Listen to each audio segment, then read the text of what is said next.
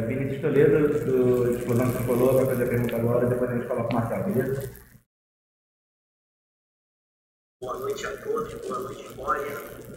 Olha, tudo tempo, vamos marcar muito por conta da imposição física do Atlético Goianiense.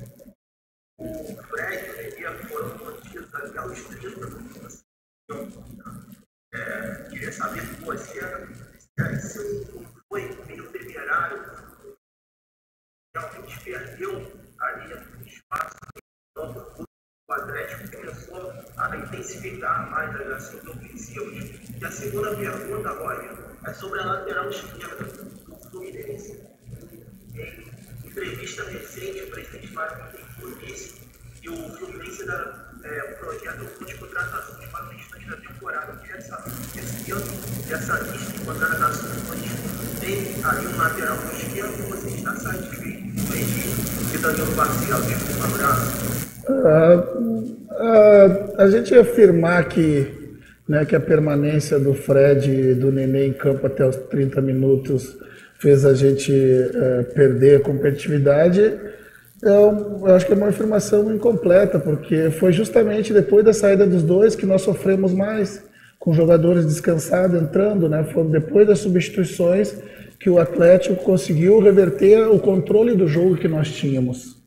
Mas então, uh, dentro dessa lógica, né, a permanência deles no campo poderia continuar da forma como a gente estava controlando o jogo. Né, foi nessas trocas que nós perdemos um pouco o controle né, em função de erros técnicos, muito mais do que táticos. Né?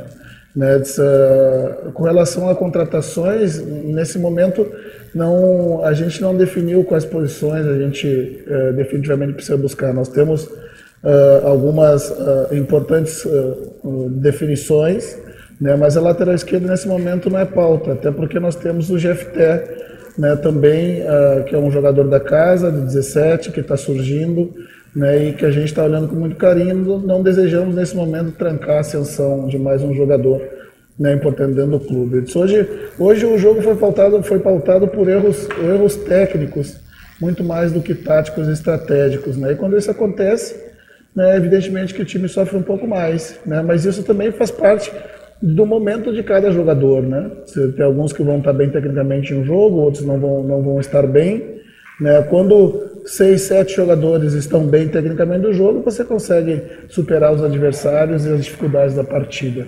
Né? Então não, não, não atribuo o fato do Atlético ter, ter o domínio na parte final do jogo, onde conseguiu o seu gol, a ter deixado tanto o Fred quanto o Nenê em campo mais tempo na partida.